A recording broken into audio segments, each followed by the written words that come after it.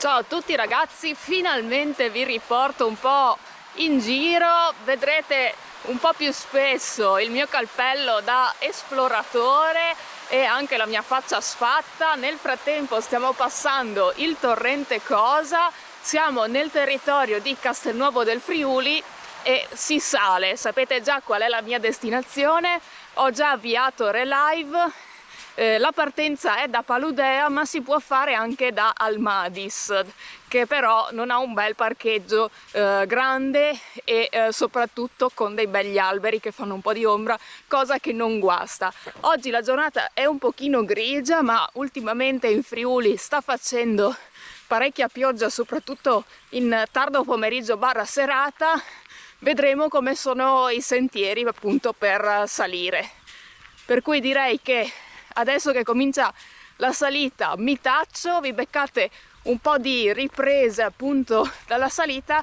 e ci vediamo a quella che è la mia destinazione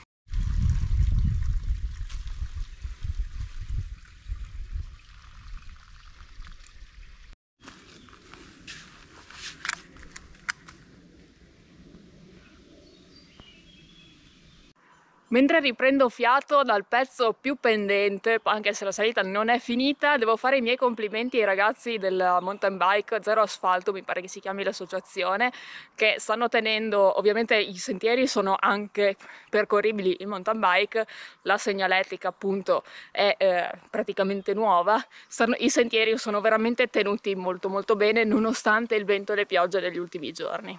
Il sentiero che sto percorrendo ora si chiama il sentiero del Pungitopo e direi che si capisce il perché. Peraltro qui c'è anche, ormai andato, nel senso che non è commestibile, c'è anche l'asparago del Pungitopo.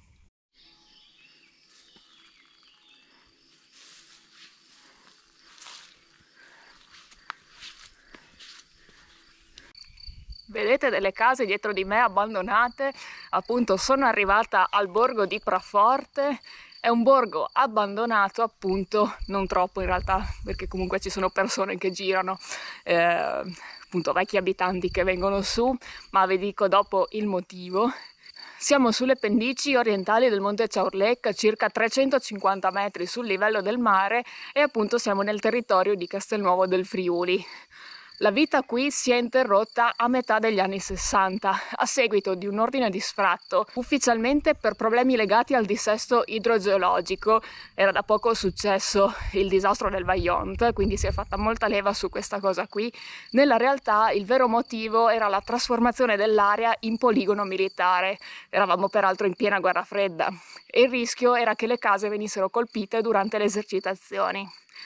Gli abitanti cercarono di resistere, ma alla fine degli anni 60 vennero tutti trasferiti a Praforte Nuovo, costruito con i soldi della regione più a valle. Con la cessazione dell'attività del poligono, nessuno è tornato a vivere stabilmente nelle vecchie case. Comunque, il paese viene comunque appunto saltuariamente frequentato da chi quassù ha animali e orti. Ci sono delle galline, c'è una bella vigna e c'è una casa che adesso c'è un signore dentro con il cane che è appunto frequentata.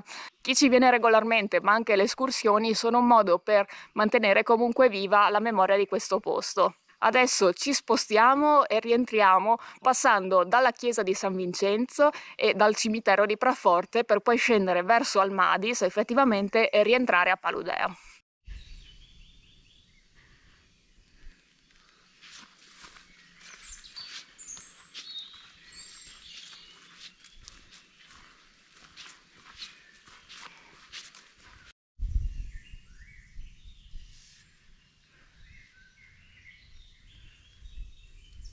Ho preso la scorciatoia che dal borgo attraverso il bosco porta appunto a quella che c'è dietro di me, ovvero la chiesetta di San Vincenzo, edificata nel XVIII secolo, ha subito numerosi rimaneggiamenti ed è praticamente abbandonata da quando è stato abbandonato Praforte, quindi da fine anni 60.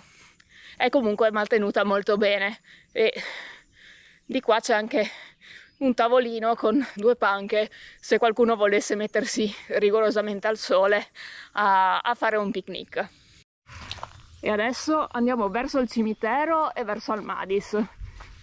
E questo qui è il piccolo cimitero di Praforte, super tenuto bene, devo dire, anche se praticamente non viene più utilizzato. Ovviamente nessuno viene più tumulato qui, però è tenuto decisamente bene per essere in mezzo al nulla.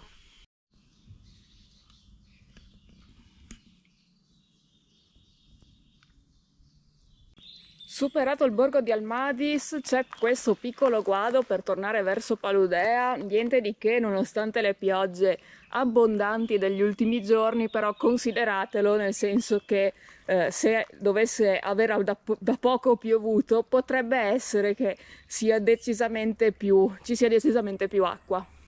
Questa è la sorgente Toff che è stata costruita dagli alpini che le cui acque vanno poi direttamente dentro al Cosa che scorre proprio poco più, eh, poco più a valle, qui vedete l'acqua e c'è anche questo rio, probabilmente se, vene, se venite in periodo un pochino più secco non lo vedete, ma in questo momento appunto con le piogge c'è un bel rumorino d'acqua.